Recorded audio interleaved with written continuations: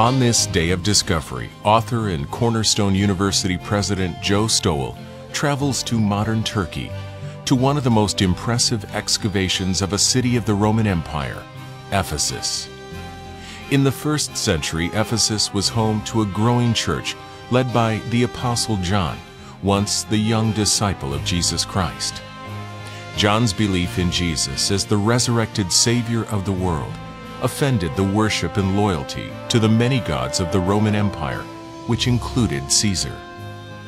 John was therefore imprisoned on the island of Patmos, 50 miles off the coast of Turkey. It is on Patmos that Jesus suddenly appears to John with a vision that maps out the end of time. This final book in the Bible is known as the Revelation of Jesus Christ. It is a book that for many speaks of a terrible future for the world and mankind, culminating with judgment and God's wrath being poured out on the earth. But this final revelation of Jesus Christ unveils far more than a final world war and cosmic destruction. It also reveals a yet future time of restoration and peace, a time when suffering and tears will cease. The book begins by revealing the heart of the resurrected Jesus for those he's left behind, with seven personal letters to seven first century churches within the borders of modern Turkey. The first letter is to the church of Ephesus. Journey to the seven churches of Revelation, the letter to Ephesus, on this day of discovery.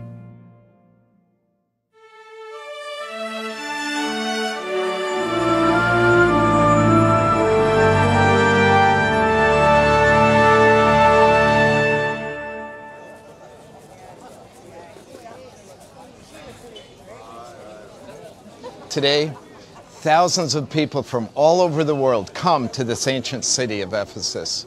They come to view the spectacular relics, to buy t-shirts for their grandkids, and little images to the goddess Artemis who was worshipped here 2,000 years ago. But 2,000 years ago, people came to Ephesus for a whole different reason. From every corner of the globe, people came because this was a world-class city. It's like our New York or Singapore, Paris or Beijing. It was the center of the cult worship to Artemis. Pilgrims came to this massive temple that was one of the seven wonders of the world. And in this city, there was a group of followers of Jesus Christ. This church planted here thrived in the midst of this pagan environment. Headliners like Paul were here for two and a half years, the Apostle John and Timothy. And interestingly enough, the letters that Jesus wrote to the churches of Asia Minor, the very first letter he wrote was a letter to this church in the city of Ephesus. What you see, write in a book and send it to the seven churches which are in Asia, to Ephesus, to Smyrna, to Pergamos, to Thyatira, to Sardis, to Philadelphia, and to Laodicea. Then I turned to see the voice that spoke, and having turned, I saw seven golden lampstands, and in the midst of the seven lampstands, one like the Son of Man. To the angel of the church of Ephesus write, These things as says he who holds the seven stars in his right hand, who walks in the midst of the seven golden lampstands. I know your works, your labor, your patience, and that you cannot bear those who are evil. And you have tested those who say they are apostles and are not, and have found them liars. And you have persevered and have patience, and have labored for my name's sake, and have not become weary. Nevertheless, I have this against you, that you have left your first love. Remember, therefore, from where you have fallen, repent and do the first works I will come to you quickly and remove your lampstand from its place, unless you repent. But this you have, that you hate the deeds of the Nicolaitans, which I also hate. He who has an ear, let him hear what the Spirit says to the churches. To him who overcomes, I will give to eat from the tree of life, which is in the midst of the paradise of God. These are the kinds of spectacular ruins that tourists come from all over the world to see. But for early Christians walking through this plaza, this was the library, one of the greatest libraries in the world, reminding them that they were in an intellectual center. As they would walk through these archways, they would see over the top the inscription to Caesar Augustus, who is God? And it would remind them of the worship of the emperors that created so much tension in their lives. Just over here is the town brothel right out in the public, which would again remind them of the seduction of the rampant sexual immorality in Ephesus. But through those arches is where the action really happened the town market, the Agora. The Agora was the most important trade center in Ephesus. It was in the form of a large square surrounded by columns with three gates. I've entered through the gate from the Celsus Library. Three sides of the Agora were surrounded by a portico that held the shops doing business in this commercial center. Ephesus was a port city, and goods from all over the known world were sold right here in this place. No city tells us what life was like for early Christians in the Roman Empire like the city of Ephesus. Ephesus was affluent. It sat on the edge of a major seaport. So trade from literally all over the known world parked its ships in the seaport and filled the city with goods that were much coveted by people who came from land routes. Trade routes on land ended up here in Ephesus. So Ephesus was a rich town and it was very cosmopolitan. People from all over the world lived here, Jews and Gentiles and Persians. And, and most of the activity that was significant took place right here in the Agora or the marketplace. The Agora would have been filled with the fragrant aromas of spices from far and distant lands, with the beautiful colors of textiles that had been woven and brought here for sale uh, people would gather here socially. I mean, this was like a mall on steroids, really. This was the center of life in Ephesus and the center of life in most cities in the Roman Empire. And so, what would happen here would be largely determinative of the social interactions and status of early Christians. Of course, one challenge was that at the entrance to the agora was an incense burner. In order to enter the Agora on good terms, you had to take a little incense as an act of loyalty to the emperor, who claimed to be Lord, and drop it in the incense burners. Christians struggled with that. It was tough to navigate that, to be, to be shut out of the Agora meant to be shut out of so much of life. But that was the challenge for them.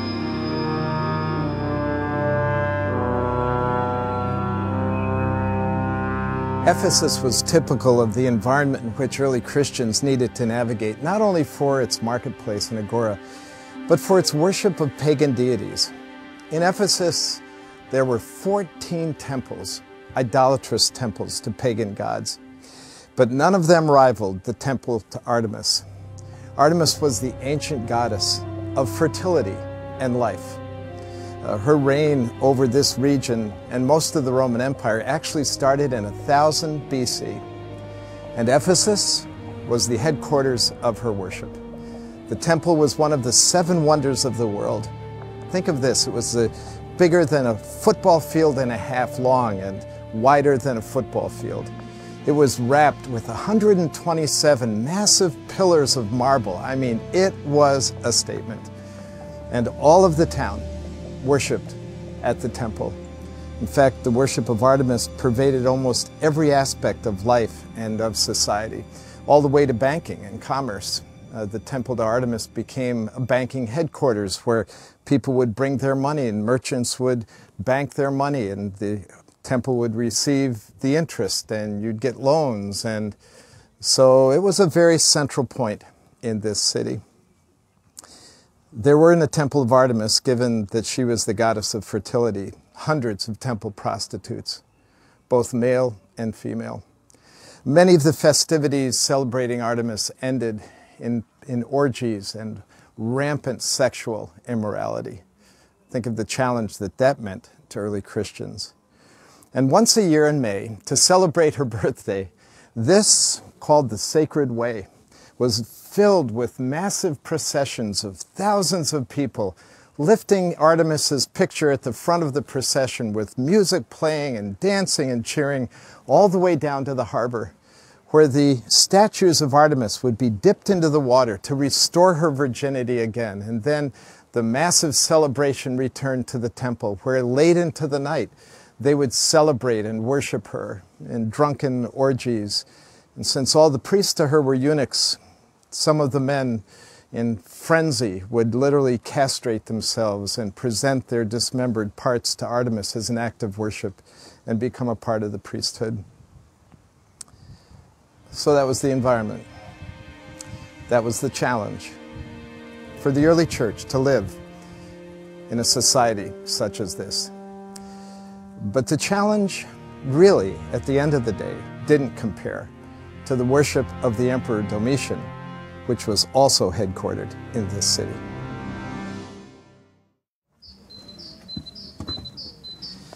Ephesus had the high honor of being a neokoros. uh, that meant a city that was a host to a temple to an emperor. Uh, very few cities got that honor. Ephesus had two. Down below us in the valley in the first century BC, a temple was built to Augustus, the divine. But behind me is the temple to Domitian, built on the highest place in the town of Ephesus, so that all could see. Uh, Domitian began his reign in 81 and immediately selected this place for people to worship him as God. Interestingly enough, on the plateau of the temple where the temple actually stood was a structure that was held up by other statues. These were the statues of all the gods of the empire. what a statement that the other gods of the empire literally hold him up as the highest. And on the platform, on the plaza of the temple, was a statue to Domitian himself.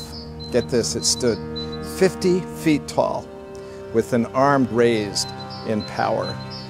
And when you would come into the harbor, you would look up, it's the first thing you would see in Ephesus was this statue of Domitian. For early Christians, that was a very intimidating sight because Domitian, next to Nero, is one of the emperors that most brutally persecuted the early church.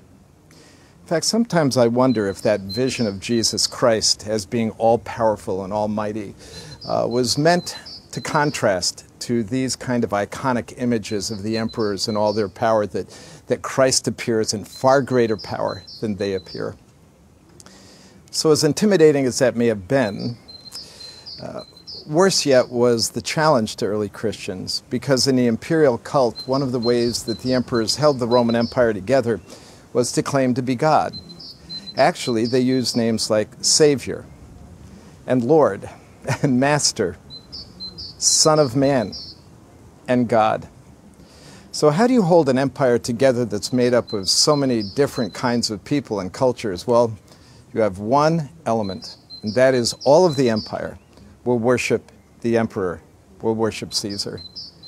And there were festivities and times in the year when Christians were required, when all the Roman citizens and all the Roman towns were required to publicly affirm with their own voice that Caesar is Lord. Well, through many of the em emperor's reign, and that didn't have a lot of glue to it, didn't stick, and Christians kind of flew under the radar. But not with Domitian, because he was intent that all would praise and worship him. Hence, the massive persecution. So the church of Ephesus then lived under the shadow of this seduction. And in fact, John is exiled onto the Isle of Patmos because of dynamics represented in a temple just like this.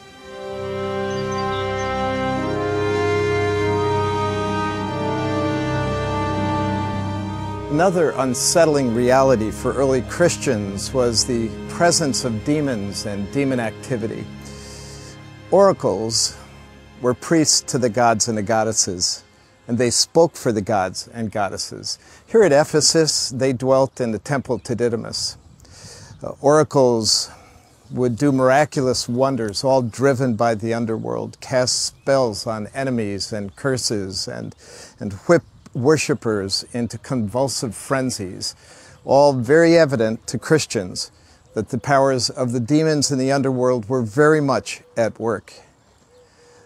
So when Paul wrote to Ephesus in Ephesians chapter 6, to put on the whole armor of God, for we wrestle not against flesh and blood, but against principalities and powers, against the rulers of darkness in high places, they knew what he meant, and they took him seriously.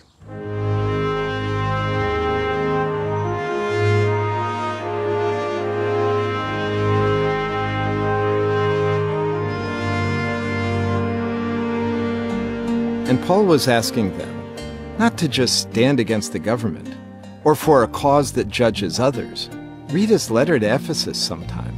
He calls them to live a life in the midst of this community that says something that rings true in all of our hearts. Things like forgive your enemies, show love and compassion to all, honor your father and mother, bring your children up in the admonition of the Lord, and bondservants, be obedient to those who are your masters. And masters, you've got to give up threatening, knowing you too have a master in heaven. Paul admonishes them to sincerity and goodwill in a community that worshiped gods who said nothing like this. In short, he was asking them to be like Christ in a Christ denying world. Jesus writes his first letter to the church here at Ephesus. Unlike some of the other churches, there's no hint in this letter of compromise on their part. Now, quite frankly, given all the pressures, that would have been an easy thing. I mean, why not just take a pinch of incense to honor the emperor, to go into the marketplace and be socially accepted, or, or, or go to the festivities and eat meat offered to idols, and uh, perhaps even participate in sexual immorality just to keep your position and your career and have people still shopping at your little stall? Um, actually, Jesus says, You hate the doctrine of the Nicolaitans. The Nicolaitans were a sect in the early church who uh, absorbed Greek philosophy and its Gnosticism, and which basically taught uh, that the body was insignificant, that the only thing that was valuable was the soul, so whatever is done in the body or to the body is to no avail. Therefore, you could eat meat offered to idols and participate in sexual immorality. So they took a firm stand against that. So I wonder why they were so strong. Could it be that they had great leadership? The Apostle Paul was here for three years. The first six months he taught in a synagogue, uh, but the resistance of the Jews was so heavy that he went to the Hall of Tyrannus, an open meeting place where Stoics and philosophers marketed their wares. And um, he taught there every day, Acts tells us, from 11 in the morning till 4 in the afternoon for two and a half years so that all the known world would know about the power of the risen Christ. They were so effective in being distinct um, that the silversmiths rioted. uh, silversmiths would make these little statues to Artemis, and people would buy them and put them in their homes and worship Artemis in their homes. Uh, but the influence of early Christianity in Ephesus was so powerful that they started losing business. And so they rioted, and the whole town went into the massive theater shouting for two hours straight Artemis, the goddess of the Ephesians, Artemis, the goddess of the Ephesians. And they dragged some of Paul's cohorts in there, and were getting ready to drag Paul in there too. Who knows what would have happened to him in that riot? Uh, except the town governor quieted the crowd and said, We have courts to take care of this. But all of that to say, this was a very effective church. So Jesus Christ starts by commending them, throwing bouquets at them. I know your labor and your toil. I know that you endure hardship for my name's sake. I know that you do not uh, accept false teachers. I mean, after that list, you and I would vote for them as Church of the Year. But then Jesus says, But I have something against you. I have to say, I never want to hear Jesus say that to me. Literally, the word first means first in terms of priority, motivation, the thing that's most important to me.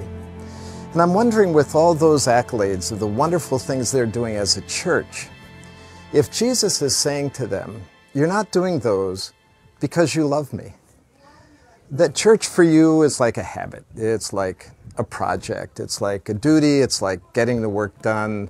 It's like sticking it out and staying faithful. But it's not because you love me that you do this. It's kind of like loveless labor. It's like work without wonder. It ends up being kind of dry and boring at the end of the day. Jesus warns them if, if you don't change this, I'll remove your lampstand, which in essence he was saying, uh, just doing loveless labor, no matter how good it is, you lose your effectiveness. You lose the light in the darkness, the power of your church. I guess Jesus wants us to know that he longs for a relationship, not just behavior, not just duty.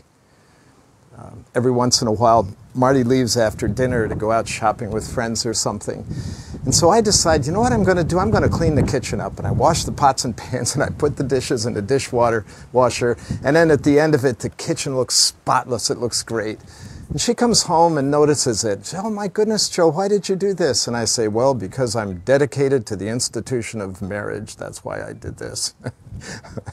no, I mean, that would go nowhere. I just look in her eyes and say, I did this because I love you. You're the most important person in my life. I look for ways to tell you how much I love you.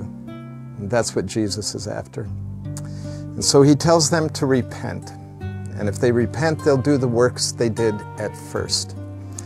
Which means that if you love Jesus and therefore do what he would have you do, you might get outside of the church walls. As good as your behavior is on the inside, you might start caring for the poor again, doing acts of compassion toward those infants who are thrown on the town dump. You might start ministering to people in need, even loving and forgiving your enemies. So that's what Jesus calls them to. I do think there's a modern application here because it's real easy, isn't it? To be duty and to do things without doing them because you love Jesus. All of our work should be worship to Him. That's what He really longs for.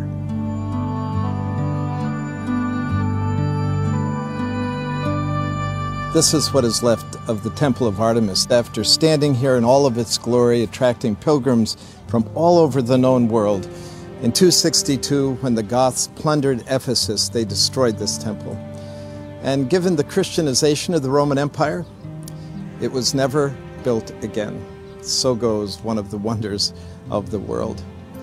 But while we're here, Jesus Christ, at the end of his letter to the Christians in Ephesus, made an interesting reference to this temple. He said to them, To those of you who overcome, I will give the tree of life. Artemis was the goddess of fertility and life, and one of the great symbols of that was in the outer courtyards there stood a gigantic tree. This tree symbolized life. Women hoping to become pregnant would come there and touch the tree. People who wanted health and life in more abundance would come to the tree. It was the source of hope and the fullness of life for Ephesians. Of course, Christians didn't participate in that. It would have been easy for them to feel cheated, to be left out of one of the great opportunities of Ephesus. But Jesus says, that if you stay faithful to me, in the end, I will give you the tree of life, the eternal tree of life. And then he said, which is in the paradise of God. So what would that mean? Well, emperors had glorious palatial gardens, and it was in those gardens that they would entertain guests of honor. Well, most citizens would never hope to go to the emperor's gardens, to their paradiso, their paradise let alone Christians. But think of the imagery. These emperors who persecuted them and marginalized them, that the day would come when they would go be with their God and he would give to them the tree of life, planted in the very paradise of God. All of the letters run like this Stay faithful, and I have a great reward for you, something far better than this world could ever give. And it reminds me of Matthew chapter 5 in the Sermon on the Mount, where Jesus said, For those of you who endure for my name's sake, great is your reward in heaven.